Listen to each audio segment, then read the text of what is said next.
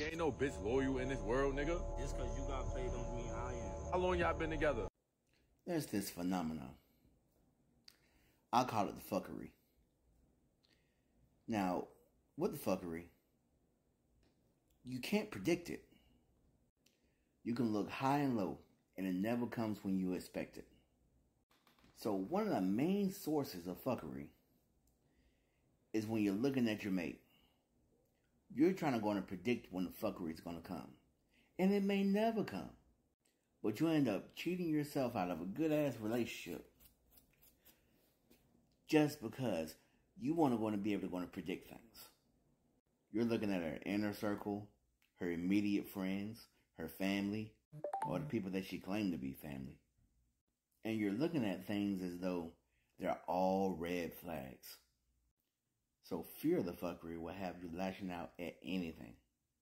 Kind of like that dog that goes outside. And even though ain't nothing outside, he'll start barking. Just trying to ward off anything that would think to approach. But really, if we're looking at it, males and females got that concern. Everybody's afraid of getting, you know, messed around on. So instead of letting people be people, we tend to go and put brands on people. Males and females.